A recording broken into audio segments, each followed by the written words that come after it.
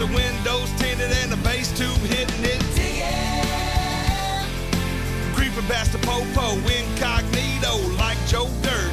That's how he's living. Life's a garden, man, and he's just digging.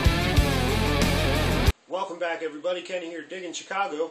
It is the end of the month, which equals pull tab time, so I wanted to review my pull tab count with you. It was exceptional this month, and um, I only had, I actually only dug half the month because I the first half of the month was so busy with uh, just life in general, I wasn't able to get out and dig. So technically, this is only half a month, and you guys will see that I am on a serious quest for a piece of gold, a gold ring, a gold anything. I just, I will find gold, but training with the 350, you know, you're going to dig everything, so that's where this comes down to. Check it out. So all of these are piled up in tens. So let's go through and count real quick. One, two, three, four, five, six, ah, ah, ah, seven, eight, nine, ten, eleven, twelve, thirteen, fourteen, fifteen, sixteen, seventeen. 170 total pull tabs.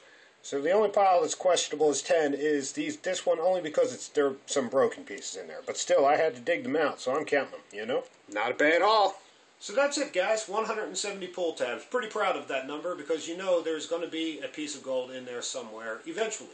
I know it's going to happen. So and as soon as that happens it's going to be over and then then the game's really on, right? But uh, you know, I really appreciate you guys watching and, and I hope you're getting out there able to dig. Good luck to everybody and until next time. Peace.